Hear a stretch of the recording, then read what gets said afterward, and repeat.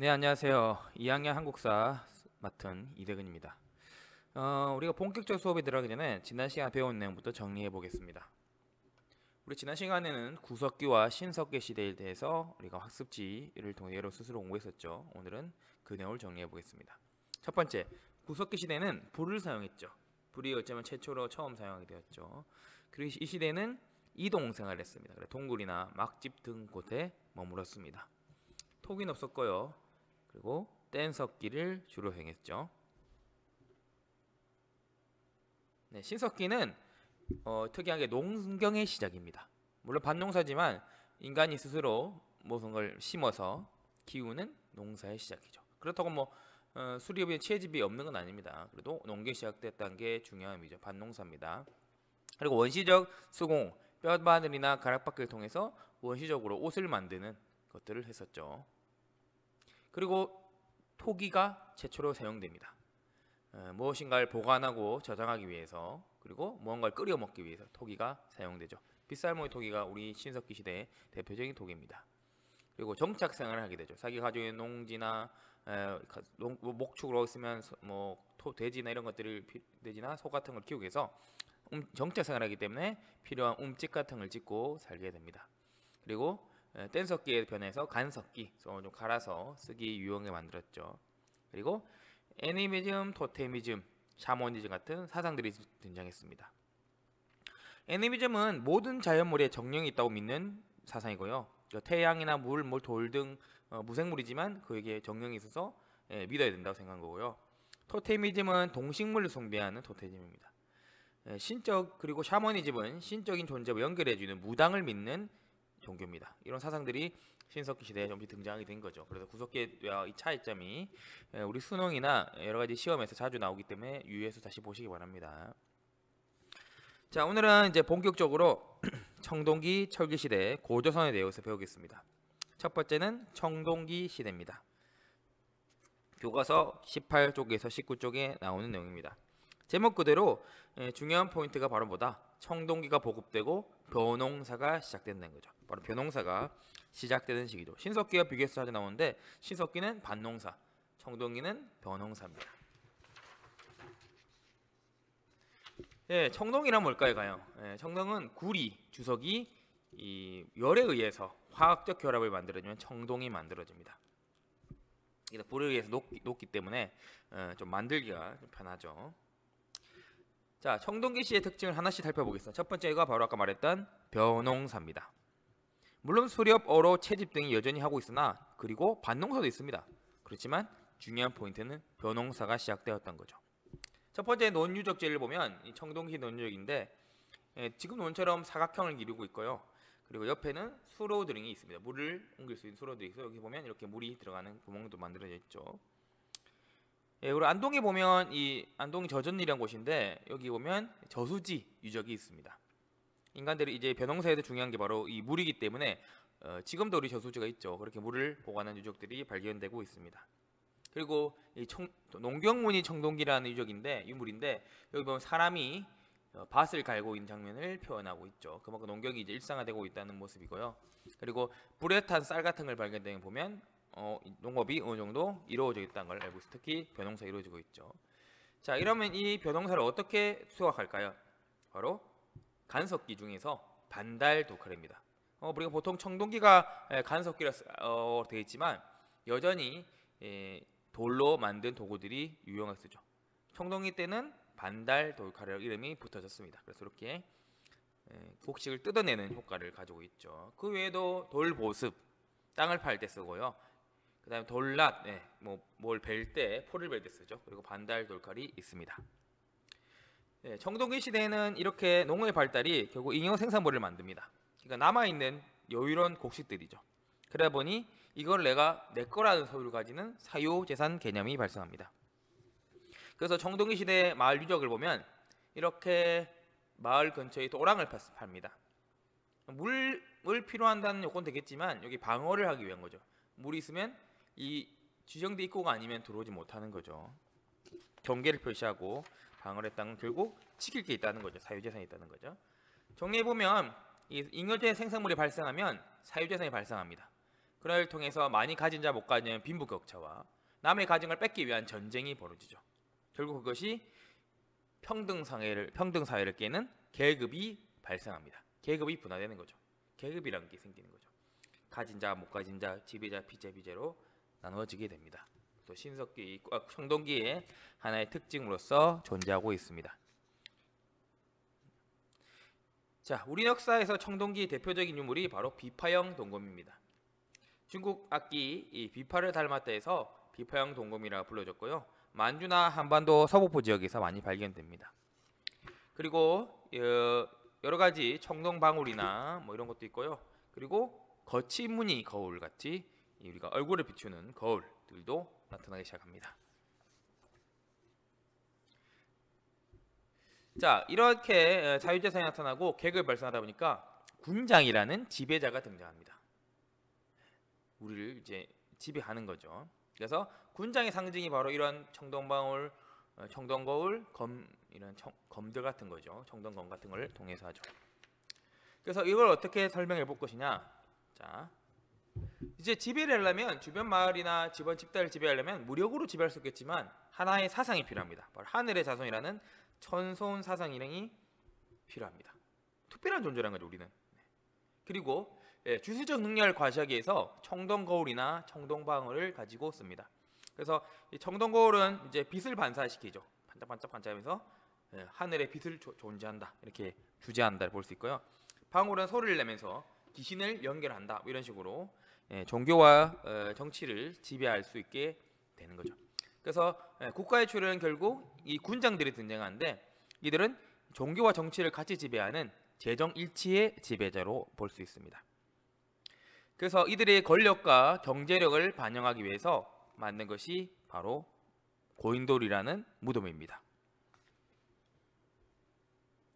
예, 고인돌이라는 무덤은 엄청나게 예, 큰 돌을 갖고 있죠. 그러니까 엄청나게 무거운 거죠. 그러다 보니까 예, 웬만해서 혼자서는 할 수 없기 때문에 그만큼 이거를 옮기기 위한 권력 그리고 이걸 옮겨놔서 그들에게 줘야 될 곡식들, 뭐 주기 위해서 경제력이 어느 정도 받쳐줘야 되는 거죠. 청동기 시대의 무덤인 고인돌에 대해서 자세히 보겠습니다. 우리나라 고인돌은 세계 문화유산으로 등록되어 있습니다. 강화도, 전남 하순, 전북 고창 지역에 지정되어 있는데요. 우리나라에 한 3천 개 가까운 이 고인돌들이 존재합니다. 고인돌은 이 강화도 지역과 한반도 북부 만주 지역에 나타나는 탁자식 고인돌과 있고요. 그리고 한반도 남부에서 나타나는 바둑판식 고인돌이 존재합니다. 그래서 어, 탁자식, 바둑판식, 남방식, 북방식, 남방식으로 구분할 수 있습니다. 고인돌은 왜 고인돌이냐면 돌을 고여놓고 위에 돌을 썼기 때문에 고인다. 돌을 고인다 해서 고인돌입니다. 예, 이렇게 도, 고인돌을 만드는 에, 만드는 과정을 예, 추정해 보면 첫 번째 고인돌을 세웁니다. 위에 도이는 거죠. 그 위에 흙을 채워서 예, 요 위에 돌을 올리시게 하는 거죠. 덮개돌을 딱 올리고 나서 그 밑에 흙을 제거합니다. 그래서 어, 이런 과정이 있기 때문에 고인돌이라고 부르는 거죠. 우리나라에는 에, 어, 강화도도 있지만 나머지 보면 예, 고, 전북 고창의 고인돌, 전남 화순의 고인돌, 화순의 고인돌 이런 거 보면 대부분 예, 남방 지역이기 때문에 예, 바둑판식 고인돌을 가지고 있죠. 여러분도 이제 이 그 외 지역도 하나에 하나씩 보면 있습니다. 예, 그래서 여러분이 한번 시간이 나면 이런 지역에 가서 고인돌 한번 보는 것도 좋죠. 아 이거는 뭐 탁자식이다, 예, 바둑판식이다 이렇게 말할 수 있겠죠. 예, 그 외에도 예, 돌롤 무덤이라는 청동기 시대 무덤이 있습니다. 이 돌로 관을 짜는 거죠. 예, 돌로 관을 짠 다음에 안에 시체를 여기다 안치하고 여기다가 각 여러 가지 유물들을 예, 뭐 부장품들을 넣는 거죠. 그래서 돌널이란 말은 돌로 너를 만든다, 곽을 짠다, 관을 짠다 이 뜻입니다. 청동기 시의 토기는 어, 민무늬 토기입니다. 아무런 무늬가 없는 토기죠. 우리가 신석기 시대에 보면 이름 민무늬 토기가 있습니다. 이름 무늬 토기는 이 우리가 어, 민무늬 토기가 청동기 시대 민무늬 토기가 발견되고 나서 신석기 유적을 발굴하다 보니까 어, 무늬가 없는 무늬가 무늬가 없는 토기가 나온 거죠. 그래서 어, 두 개를 구분하게 해서 청동기 시대에는 먼저 붙였으니까 민무늬 토기, 신석기 시대에는 이름 민무늬 토기라고 부릅니다. 예, 문물토기는 세 종류가 있습니다. 하나는 미송리형 토기, 요동 일대와 한반도 북부, 서북부 지역에서 많이 있고요. 팽이형 토기, 평양 지역과 평안, 평안도 지역에서 나왔고요. 성국리 지역은 충청도 전라도 지역에서 많이 발굴됩니다. 그래서 우리가 어, 세 가지 종류 있는데 보통 이 미송이씨 토기는 이제 귀가 있어요. 이렇게 귀가 있는 거고요. 팽이는 팽이처럼 송국리는 이렇게 가운데가 볼록한 독입니다. 민물톡이 다양하지만 뭐이 정도까지 여러분이 어, 크- 관심을 가지면 좋겠죠. 그리고 이제 예, 청도시계는 바위 그림이 등장합니다. 그래서 이런 예, 고래나 뭐 큰 고래, 이 힘수용 고래처럼 보이죠. 그리고 뭐 작은 고래, 사자, 호랑이, 호랑이 사자 말- 말고요. 그리고 노루, 뭐 사- 이런 거 사냥하는 그림들을 예, 그려놔서 에, 울산에 이, 이 그림이 존재합니다. 울산에 있는 방구대라는 그림인데 지금은 조금 이제 훼손이 많이 돼서 요 정도까지는 안 되고요. 그래서 방어 방어도 하고 이 안전하게 하려고 하는데 어, 자연에 풍할 땐 쉽지는 않게 됐죠. 왜냐하면 그 전에는 이게 물 밑에나 있거나 잘 공기가 안 되는데 여기 이, 지역- 이 지역이 땀을 댐을 만들다 보니까 물이 쭉 빠지게 됩니다. 그러다 보니까 예, 이게 발견됐는데 이제 바람, 햇빛 여러 가지 뭐 침하가 되고 있어서 좀 안타까운 현실이죠. 그래서 이런 그인들이 통해서 뭐 사냥을 기원한다는 의미도 가지고 있습니다. 그지 그외 지역에도 보면 고령의 장기 장기리 암각화 여러 가지 모습들이 그려져 있고요. 그 다음에 울산의 천, 전, 천전리 강- 암각화 이런 것도 여러 가지 모양이 보이고 아까 봤던 방구대 암각화도 있습니다. 이렇게 예, 돌에다가 그 표현을 해서 일상생활의 예술을 표현한다고 볼 수 있습니다. 다음은 19페이지, 20페이지 나오는 철기 문화가 이야기입니다. 철기 문화의 에, 문화의 등장으로 이제 돌로 만들던 농기구들도 전부 다 철로 바뀌고요. 에, 무기들도 철로 바뀌게 됩니다. 그래서 사실 이제부터 돌이 사용할 일이 별로 없어지게 되는 거죠. 에, 청동기는 이제 어, 의식용으로 씁니다. 뭐 여러 가지 제사나 예, 군장이 행사를 할 때 쓰지 실제로 이제 뭐 일상생활에 잘 쓰지 않게 되는 거죠. 그래서 어, 한반도의 청동기도 벼- 모습이 변합니다. 비파형 동검, 만주 지역이나 요- 뭐 서북부 지역에서 많이 썼던 것들을 우리 한국식으로 세형 동검이 나오고요. 약간 좁히다기 바뀌었죠. 그리고 어, 거친 무늬에서 무늬가 이제 하나의 이제 정확히 이제 원심을 그리는 잔무늬 거울로 바뀌게 됩니다. 청동기 거울은 예, 여기 앞 뒷, 여기 뒷부분이고요. 앞부분에 깨끗하게 맑은 표현으로 되어 있습니다. 그 부분에 보고 가는 거죠.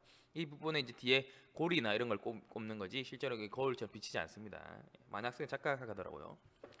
예, 철기시대 무덤은 이제 어, 동무덤이 있고요. 이건 전라도 지역이 보통 많이 나오고요. 예, 널무덤이 있는데 이건 뭐냐면 앞, 앞, 앞 에서는 이제 돌로 관을 짰죠. 사실 어렵습니다. 이렇게 하면 이제 어, 잘 부서지다고요. 근데 이번에는 나무로 관을 짜는 널무덤으로 바뀌게 됩니다. 예, 그 돌이 아니라 나무로 짜는 무덤들이 시작하게 되는 거죠. 자, 그 다음에 이, 이, 이 시대 특징이 바로 어, 중국과의 교류가 많아집니다. 예, 철기 시대는 중국과 교류가 많아진데 그 중고로 첫 번째가 동전입니다.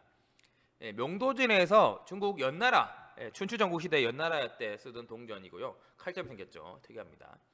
그리고 예, 춘추 전국 시대를 통일시킨 진나라가 만든 반량전, 진나라 다음에 와- 왕조했던 한나라의 오수전 이런 것들이 우리 우리 어, 철기 시대에 다 등장합니다.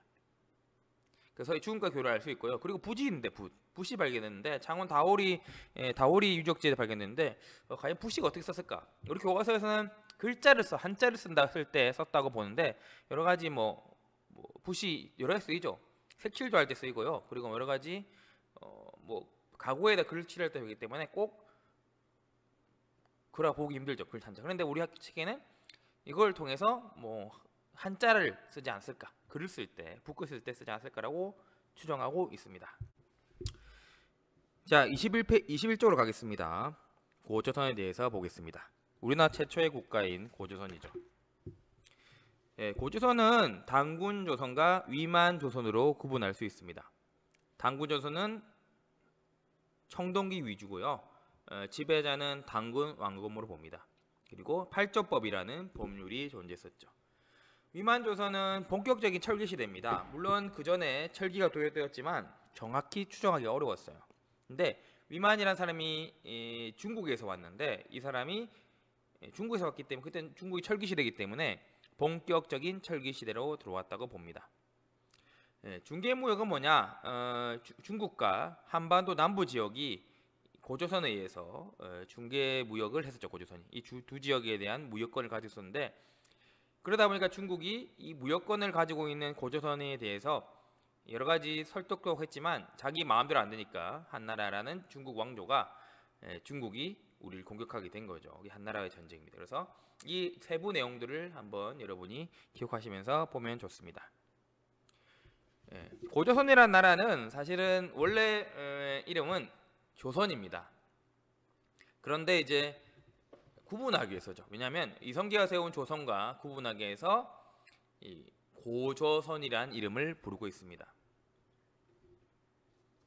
예, 고조선에 관한 단군 신화가 있는데 단군 신화는 에, 고조선 벽화에 보면 정확히 맞는지 모르겠는데 호랑이와 곰이 보이죠. 우리가 알듯이 호랑이 곰이 쑥과 마늘을 먹었다 이런 얘기가 어, 전해 와서 이게 고구려 벽화에 이게 그려져 있는 거 보고 어, 고구려 시대도 이 단군 신화를 알고 있지 않을까 이런 얘기도 하기도 합니다. 그래서 단군 신화를 한번 보겠습니다. 교과서 23페이지에 있습니다. 하늘의 제왕인 한인에게 한웅이란 아들이 있는데 한웅은 천하의 뜻을 품고 인간 세상에 다스리고자 했다. 이에 한인은 아들의 뜻을 알고 삼위 태백을 내려다보니 인간은 널리 이롭게, 이롭게 할 만하여 천부인 세계를 주어 내려보내 인간 세상을 다스리게 하였다. 한웅은 3천 명의 무리를 거닐고 태백산 꼭대기 신단수 아래에 내려와 그곳을 신시라 불렀다. 그때부터 한웅 천왕은 풍백, 우사, 운사를 거느리고 곡식, 수명, 질병, 형벌, 선악득 360가지의 일을 주관하였으며 인간 세, 세상을 교화하였다. 예, 여기 첫 여기 줄건 보면 인간을 널리 이롭게 한다. 바로 우리 홍이 인간이라는 예, 단군 신화의 이념이 들어 있고요. 그리고 풍백, 우사, 운사, 바람, 비, 구름을 거느리고 왔다는 건 결국 곡식이나 수명 이런 것들을 권장하기 때문에 농경 사회로 볼 수 있습니다. 이렇게 황웅이라는 사람이 내려와서 우리의 처음을 만들었죠. 그러고 나서 어, 호랑이와 곰이 나타납니다. 곰 한 마리와 호랑 한 마리 같은 굴에 살았는데 환웅에게 사람이 될 수 있도록 해달라고 빌었다. 이에 환웅은 쑥 한 다발과 마늘 스무 개를 주면서 말하였다. 너희들이 이거 먹고 100일 동안 햇빛을 보지 않는다면 곧 사람이 될 것이다. 곰과 호랑이는 동굴에서 쑥과 마늘만 먹으며 지냈다. 금기를 지키기 시작한 지 37일 만에 곰은 여자가 되었지만 호랑이는 금기를 지키지 못해 잉- 사람이 되지 못하였다. 웅녀는 혼인할 상대가 없어 늘 신단수 아래에서 잉태하기를 축원하였다. 이에 항웅은 잠시 사람을 변하여 웅녀와 사람을 나누었고 웅녀는 임신하여 아들을 낳았다. 그가 당군 왕검이다. 당군 왕검은 요 임금이 즉위한 50년인 경인년에 평양성의 도읍을 정하고 국호를 조선이라 하였다. 여기서 당군 왕검이란 말을 보면 당군은 예, 제사장의 의미를 집니다. 왕검은 정치적 의미를 띠기 때문에 재정 일치 사회를 볼 수 있습니다. 이렇게 상호이사를 내용이 마무리가 되죠. 그러면 이 당군 신화를 한번 분석해 보겠습니다. 환웅, 당군, 왕검 이 나오는데 여기서 보면 천부인이라는 것이 있습니다. 천부인 세 가지를 준다는 것은 어, 청동거울, 청동검 그리고 청동방울 이런 걸 가져오기 때문에 예, 청동이 문화를 바탕했다고 알 수 있습니다. 물론 조금 애매하긴 하죠. 그리고 비, 구름, 바람, 곡식, 쑥, 마늘 예, 농경 문화에서 필요한 것들이죠. 비와 구름, 바람은 농사를 잘 짓게 하고요. 곡식, 쑥, 마늘은 우리가 농경 문화에서 등장하는 거죠. 예. 그리고 환웅, 곰, 호랑이 관계를 좀 뭐 애매하긴 하지만 여러 가지 세력이 통합하는 과정이다. 한웅 한웅을 가지고 있는 한웅 부족과 뭐 곰 부족 호랑이 관계라는데 이것도 뭐 애매하긴 하지만 그래도 뭐 여러 제 통합하는 각색을 볼수 있습니다. 그리고 당군 아까 말했던 당군 제사장 예, 왕금은 정치 지도를 뜻하기 때문에 재정 일치 사이를 알 수 있습니다. 예, 고전에 어쩌든 간에 뭐 당구 신화가 맞든 안 맞든 간에 결국 건, 건국됩니다. 예, 조- 고조선이 예, 중심 지역은 초기에는 이 정기 지역은 요동 지역을 야오강 중심으로 한 요동 지역이 중심이었고요. 후기에는 평양을 중심으로 했기 때문에 두 개가 조금 어떻게 이동했는지 뭐 여러 설도 있고요. 아무튼 두 지역에서 유물이 많이 나옵니다. 네, 고조선에 가면 어, 문화와 세력 범위는 저- 사실 정확히 측정하기 어렵습니다. 어, 뭐 후, 후대처럼 국경이 정확히 있는 것도 아니고요. 예, 어렵습니다. 그래서 어떻게 추정하냐? 문화재와 유적을 통해 유물 유적을 통해서 합니다. 그래서 고조선 문화 세력을 볼 때 증거가 되는 게 첫 번째가 비파형 동거 그리고 고인돌이라는 무덤입니다. 탁다시 고인돌이겠죠. 두 가지를 통해서 이 고- 고조선의 문화와 세력 범위를 추정하고 있습니다. 그래서 이런 지도가 나오게 되는 거죠. 물론 보면 여기 보면 이렇게 나와 있듯이 정확히 않지는 않습니다. 그러나 어, 그냥 추정하는 거죠. 하나의 측정 방법이지 뭐 이게 저- 진리는 아닙니다, 여러분. 그래서 다시 정리해 보면 고조선의 문화 세력 범위는 요동과 한반 서북부에 많은 비파형 동건과 탁자시 고인들을 주경을 해서 요동과 한반도 서북부 지역이 고조선의 영역이 아니겠는가고 추정합니다. 자 그리고 그러다가 고조선은 철이 들어옵니다. 왜냐하면 중국에서 나- 이 여러 가지 철들이 생산되기 때문에 그게 우리 영향을 줘서 들어오게 되죠. 언제 정확히 들어온지는 모릅니다. 그리고 어, 철기 문화가 도입되면서 예, 여러 가지 변, 변신하는데 왕위 세습이 이루어집니다. 어, 정확히 그 전에 왕위 세습 어떻게 되는지는 기록이 없어요. 알고 싶어도 모릅니다. 예, 그래서 어, 기록이 중국 기록에 보면 부왕이나 에, 부왕이 준왕한테 무- 물러졌다. 이런 기록이 있습니다. 뭐 부왕이 뭐 아버지 부자라서 아빠가 물러졌다 이래 볼 수도 있고 뭐 정확히 애매하긴 합니다. 예.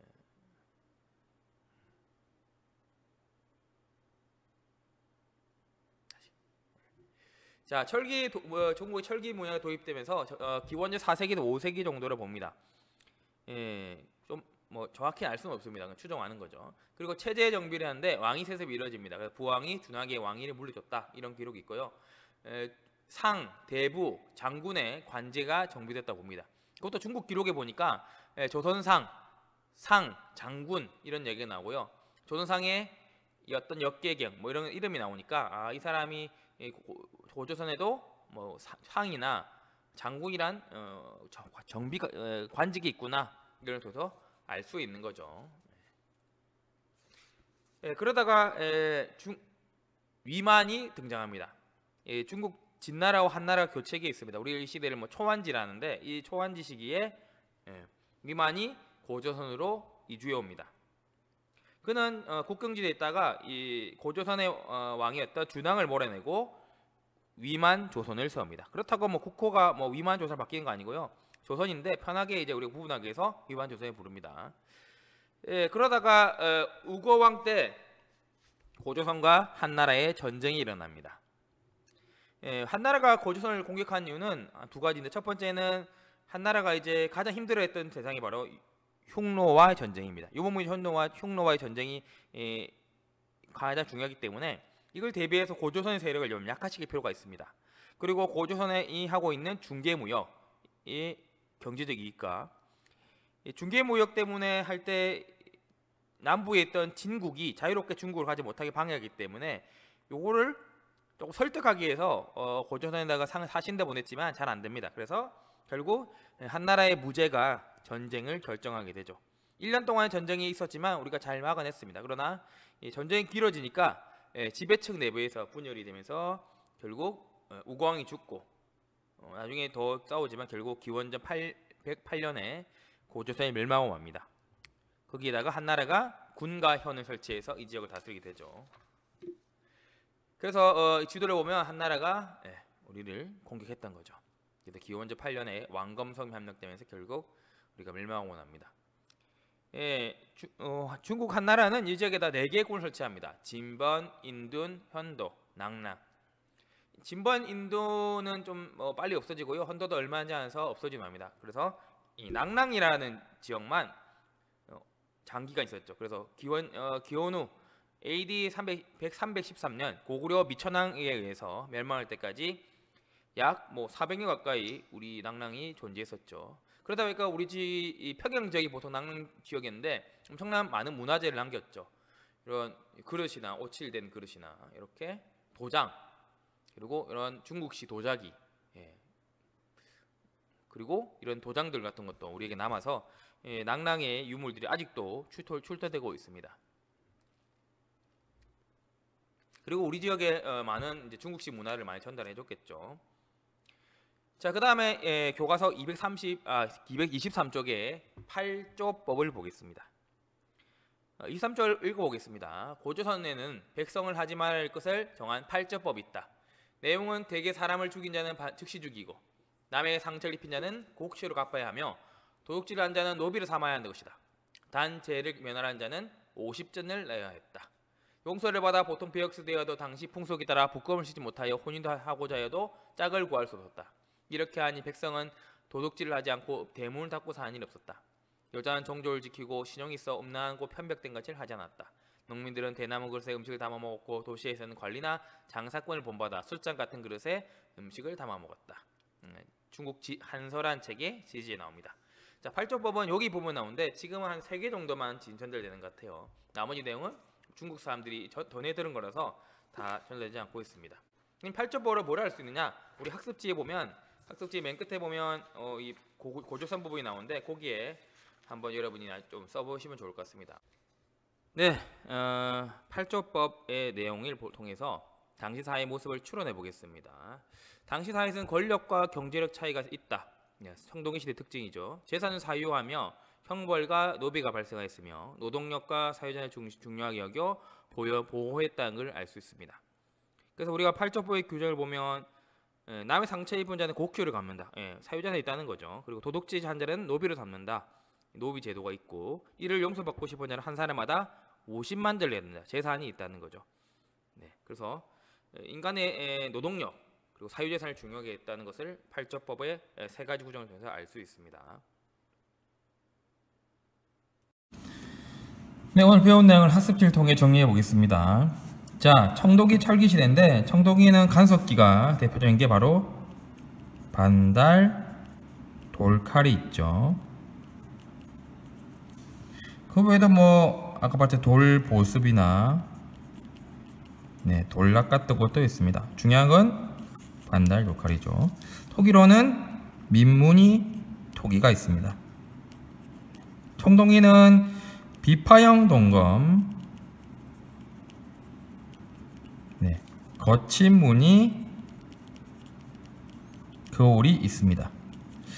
자, 어, 경제에서 중요한 게 바로 뭐냐? 벼농사가 청동시대에 시작됐던 거죠. 그리고 농경이 발달을 하다 보니 결국 뭐냐? 사유재산의 개념이 발생합니다. 홈집은 여전히 있습니다. 약간 지상 가구처럼 이제 좀 변하긴 했죠. 네못 반듯하게 바뀌긴 합니다. 자, 사회는 빈부격차 발생하고 전복제 발생하니까 결국 계급이란 게 분화되게 되죠. 예, 그리고 이 계급을 어, 보여주기 위해서 여러 가지 의뢰, 의뢰동을 나오는데 청동 예, 방울이나 네, 청동 거울 같은 것들이 예, 등장합니다. 그래서 이런 청도반의 청동 거울을 통해서 군장은 재정, 일치, 지배를 하게 되죠. 그 군장과 권력과 에, 경제를 보, 여주는 것이 바로 고인돌이랬죠. 고인돌. 네. 그리고 무덤은 의식 도구를 제작해서 였고요. 사후세가 있었기 때문에 여러 가지 꼬뭇거리, 뭐 쉽게 말해서 유, 뭐 유물들을 많이 보관하고요. 도자기나 이런 것들, 토기. 돌렬 무덤이 이 당시 대표 무덤이고 고인돌도 있습니다. 유적 유물로 대표적인 것이 울산의 방구대 예, 그림이죠. 바위 그림. 고령에도 있습니다. 자, 철기시대라고 보요 철기시대는 청동이는 이제 어, 뭐 전쟁이나 농기구로 쓰는 것이 아니라 의식용으로 예, 의식용 도구로 씁니다. 철기가 바로 무기와 예, 농기구로 썼죠. 신, 어, 청, 철기, 청동기는 예, 돌로서 예, 농사를 지었다면 네, 철, 어, 철기 시대는 철기로 했다는 거죠. 독재적 철, 한반 철기 문화에서 비파형 동검이 세형 네, 동검으로 바뀌게 되고요. 그 다음에 거친 무늬의 거울이 잔무늬 거울로 바뀌게 되죠. 네. 교동사 발달하고 예, 전쟁이 더 많아집니다. 중국 화폐 명도전, 반량전이나 북 같은 걸 통해서 뭘 할 수 있죠? 예, 중국과의 교류가 있다는 걸 알 수 있죠. 네. 자, 그 다음에 무덤은 비슷하고요. 동무덤 있고, 그 다음에 널 무덤 있죠. 나무로 만든 관을 짜서는 널 무덤이 있습니다. 자, 그 다음 고조선 내용을 보겠습니다. 자, 고조선은 어, 특히 당군조선 청동기를 문화를 바탕으로 시작되었죠. 당군 왕금은 아까 봤듯이 재점 일치입니다. 그리고 어, 고조 세력범에 알려진 문화 두 가지 있죠. 첫 번째가 비 파형 동검이고요. 탁자식 예, 고인돌 뭐 다른 말로 예, 북방식 예, 고인돌이라 부르기도 합니다. 네. 자 위만 집권해서 예, 고조선으로 나온 위만이 집권되면서 위만 고, 조선이 되었죠. 위만 조선 앞에 거는 예, 뭐 당군 조선을 볼 수 있겠죠. 당군 조선 네. 철기 문화가 예, 본격적으로 수용되었죠. 물론 그 전에 있었죠. 그래서 중국과 한나라와 남방의 진국이라는 사이에서 예, 중개 무역을 했었죠. 그러다가 한무제 침입으로 멸망하고 한 9년이 실시됩니다.